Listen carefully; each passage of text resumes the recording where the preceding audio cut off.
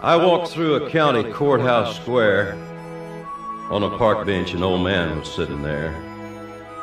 I said, Your old courthouse is kind of run down. He said, No, it'll do for our little town. I said, Your old flagpole is leaned a little bit, and that's a ragged old flag you got hanging on it. He said, Have a seat. And I sat down. Is this the first time you've been to our little town? I said, I think it is. He said, I don't like to brag, but we're kind of proud of that ragged old flag. You see, we got a little hole in that flag there when Washington took it across the Delaware. And it got powder burned the night that Francis Scott Key sat watching it write and say, Can you see? And it got a bad rip in New Orleans with Pakenham and Jackson tugging at its seams. And it almost fell at the Alamo beside the Texas flag, but she waved on though.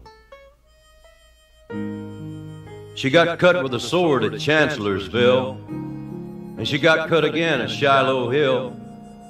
There was Robert E. Lee, Beauregard, and Bragg and the south wind blew hard on that ragged old flag.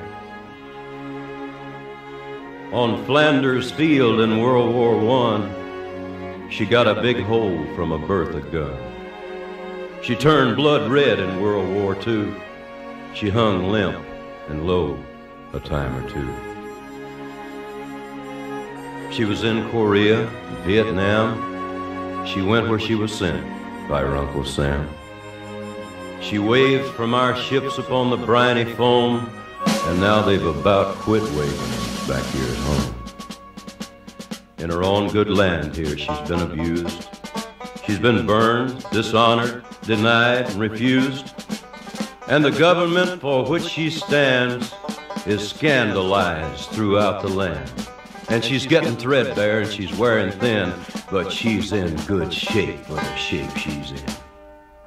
Cause she's been through the fire before. And I believe she can take a whole lot more. So we raise her up every morning. We take her down every night. We don't let her touch the ground and we fold her upright. On second thought, I do like to brag, cause I'm mighty proud of that ragged old flag.